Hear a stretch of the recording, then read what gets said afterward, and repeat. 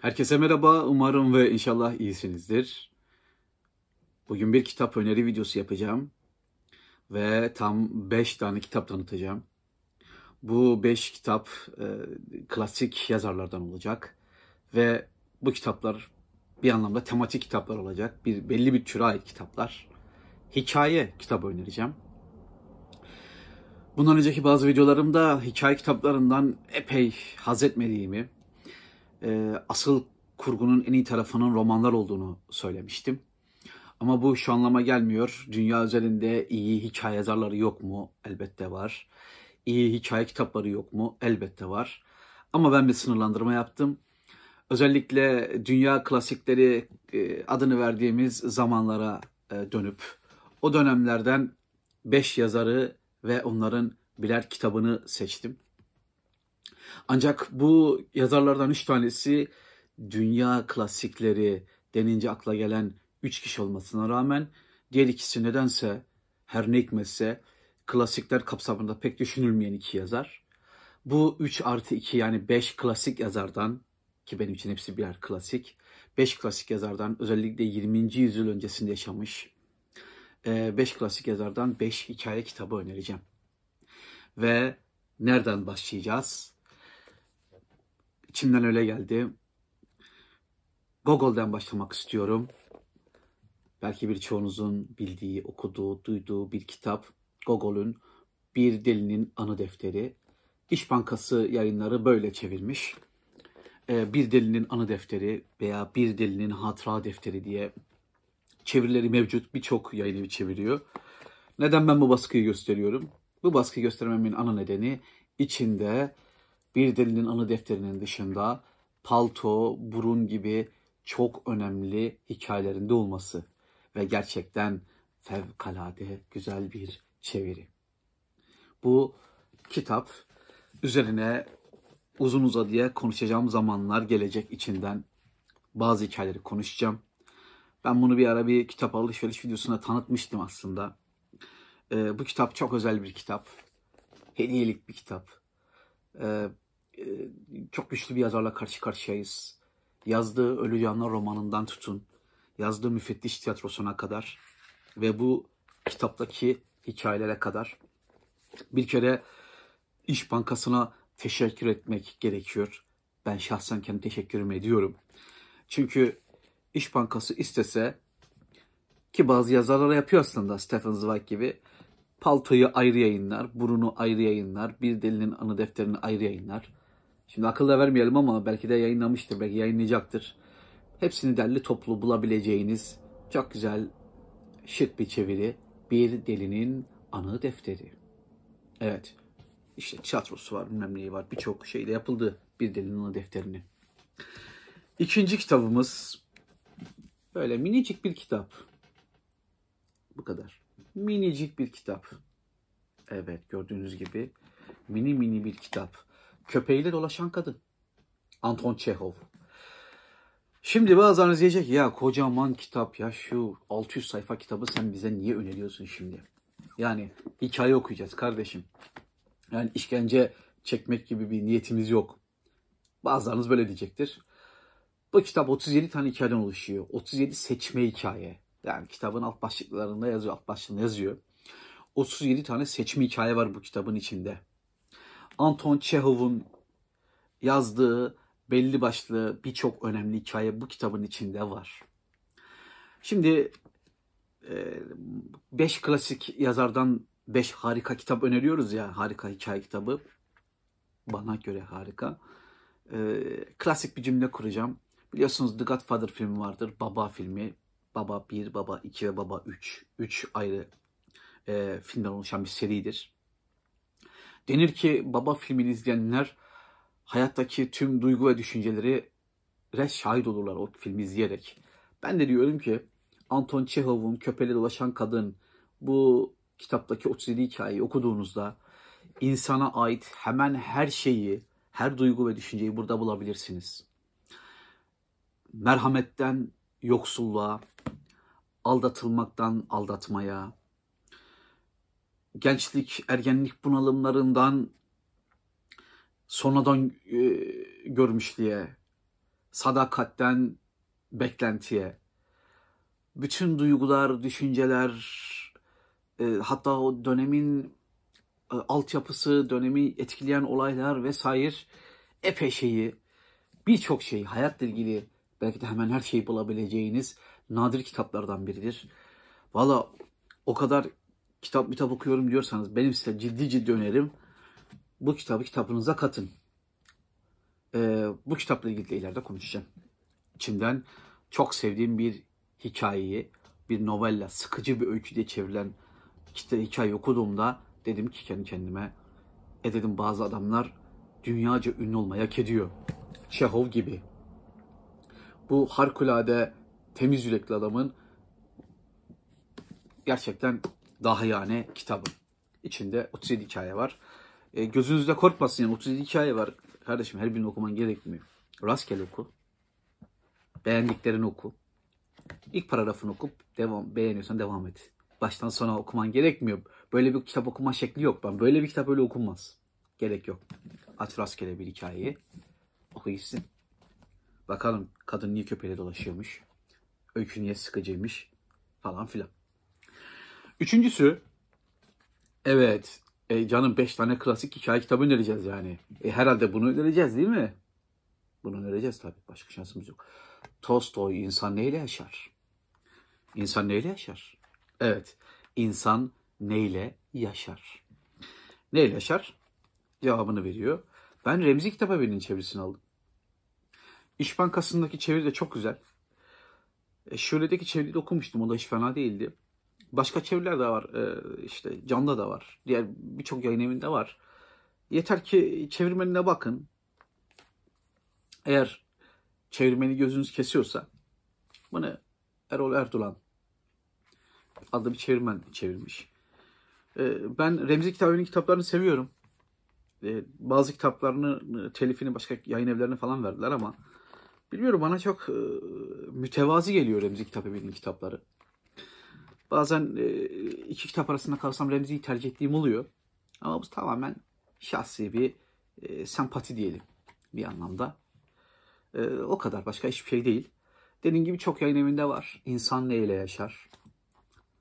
İnsan neyle yaşar? Tolstoy'un hikaye kitabı. E, tabii Tolstoy hadizatında en başa bir romancı ama sonunda dünya edebiyatına İnsan Neyle Yaşar adlı e, çok iyi bir hikaye kitabında kazandırdı. Hikayeyi de kazandırdı. Şimdi gelelim. Dedik ya e, zaten klasik olduğunu bildiğiniz üç kişi dedim. Gogol, Çehov ve Tolstoy'un kitaplarını önerdim. Şimdi gelelim diğer ikisine. Biri Edgar Allan Poe Kuyu ve Sarkaç kitabı. Şimdi Dünya Klasikler Lisesi'ni açın. Bazı listelerde Edgar Allan Poe'yu görmezsiniz. Bazıları vicdan sahibi, merhamet sahibi ve akıl sahibi Edgar Allan Poe'yu klasikler listesine alıyorlar. Ben klasikleri şöyle düşünüyorum. Birinci Dünya Savaşı öncesi dünya edebiyatı diye düşünüyorum dünya klasiklerini. Modern klasikler dediğimizde Birinci Dünya Savaşı'ndan sonraki edebiyatın klasikleri olarak düşünüyorum. Bu tamamen benim şahsi kanaatimdir. Yani dünya klasikleri ifadesi tartışılabilir bir ifade. Onu söyleyebilirim. Ancak nedense o dünya klasikleri listesinde 1849 yılında vefat etmiş olan, işte 1850'den önce vefat etmiş olan, 40 yaşında, 41 yaşında ölmüş olan bu adam yok. Edgar Allan Poe bir şair, bir hikaye yazarı yok bu listede. Çok enteresan bir şekilde. Ama ben ekledim bakın gördünüz mü? Bazılarının listesinde yok bazılarının de var. Ben, ben de ekledim. Bu bir klasiktir arkadaşlar. Sevgili izleyiciler. Düzeltelim daha güzel bir ifade olsun. Bu bir klasiktir. Ee, Kuyu ve Serkaç e, adını, kitap adını veren hikaye bir Engizisyon işkencesini anlatır. Korkunçtur. İçinde korkulu hikayeler vardır, gotik hikayeler vardır. Uşer evinin çöküşü vardır. Altın böcek vardır mesela bunun içinde. Şişedeki mektup vardır. Çok özel, çok güzel hikayelerdir ve e, ne güzel işte bakın bir kitapta toplanmış. Can yayınları e, bir kitapta toplamıştır. Kuyu ve Serkaç. Bence bulursanız affetmeyin. Hem hikayeler güzel, merak uyandırıcı, eğlenceli. Eğlenceli derken yani eğlenirsiniz okurken yoksa eğlenceli değil. Çok korkulu, korkucu, korkuluklu hikayeler. Bir an böyle enteresan kelimeler e, kullandım arka arkaya. Ee, bence bu kitabı edinin. Ben yani hikaye okuyacaksanız e, ve lütfen e, siz de e, lütfen benim gibi yapın ve Edgar Allan Poe'ya e, bir şair kuzgun şiiriyle işte ünlenmiş bilmem her yerde öyle yazıyor. E, yani meselemiz e, hikayeleri burada ve gerçekten çok güzel hikayeler ve klasik kardeşim. Klasik. Peki. Dördüncü kitapta. Gelelim beşincisine. Sanırım çoğunuz duymadınız. Evet bir Rus edebiyatı klasiği. Bu videoda beş tane yazardan bahsettim. Dördü Rus. Biri Amerikan, İngiliz, Anglo-Sakson. Ee, Çelik Pire. Evet. Leskov, Nikolay Leskov. Çelik Pire. Yapı Kredi yayınları bastı bu kitabı. Hem de çok yeni zamanlarda. 2018 yılında yayınladı. Ben de bakıyordum Türkiye'de kim yayınlayacak e, bu kitapları. Çelik Pire kitabı. Leskov kim? Leskov e, birçok Rus edebiyatçısına göre e, Rus edebiyatının hakkı yenmiş, e, biraz arada kalmış, karambole gelmiş en önemli yazarlarından biri. Yani Dostoyevski, Tolstoy, Çehov, Lermontov, Goncharov gibi, Gorki gibi, e, Gogol gibi çok çok önemli bir yazar. Ama biraz e, gözden çıkarılmış, gö, göz ardı edilmiş. E, burada da en büyük nedenini söyleyeyim mi? Benim anladığım kadarıyla geleneksel bir yazar. Özellikle e, din ve dindarlık vurgusunu çok fazla yapıyor bazı metinlerinde. E, ve Leskov biraz göz ardı edilmiş. Yani o dönemin e, devrimci edebiyatı veya devrime yakın, sola yakın edebiyatının pek yanında ve yakınında olmamış bir e, yazar. Bu yanında ve yakınında olmayışından kaynaklanan bir tartışmanın içinde karambole e, yuvarlanmış gibi gözüküyor. Ama yıllar sonra 1930'larda mesela e, muhteşem zekalı, muhteşem birikim sahibi, müthiş adam Walter Benjamin, bu bir ironi değildir ciddi öyle düşünüyorum. Walter Benjamin Leskov'un e, yazdığı ustaca metinlerden bahseden yazılar yazınca bir anlamda yine gündeme gelmiştir. E, Türkiye'de Leskov'un e, gündeme gelmesi bir 50 yıl gecikti. Ama Leskov'da bizim önereceğimiz 5. klasik hikaye yazarı ve kitabı Çelik Pire. İçinde Çelik Pire adlı önemli bir hikaye var. Mühürlü Melek var. Vahşi Hayvan var. Bir e,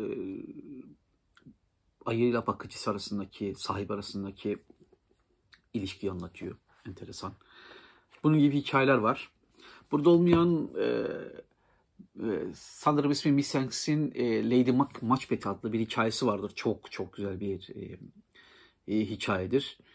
E, ve Leskov'u da görün dedim. YouTube ne işe yarıyor kardeşim bir daha söyleyelim. YouTube işte bu işe yarıyor. E, Tolstoy'un kitabını duymuştunuz. E, Gogol'un kitabını bilmiştiniz. Ama sanırım Leskov biraz e, bilinmeyenler kategorisinde görülebilir. Tekrar ediyorum. Leskov, Nikolay Leskov, Çelik Pire ve e, Kuyu ve Serkaç, Edgar Allan Poe, e, Edgar Allan Poe ve Leskov e, ne yazık ki dünya klasikleri listesi yapıldığında adları pek geçmeyen iki yazar. E, diğerleri kadar en az onlar kadar hak ediyor o listede olmayı. Eğer dünya klasikler listesini kabul ediyorsak öyle bir intibamız varsa ben size dediğim gibi Birinci Dünya Savaşı öncesi edebiyatı kastettiğimizi düşünüyorum. Ve bu iki yazarın da bal gibi klasik oldu ortada. Ve işte Tolstoy'dan bahsettik, Çehov'dan ve Gogol'den bahsettik.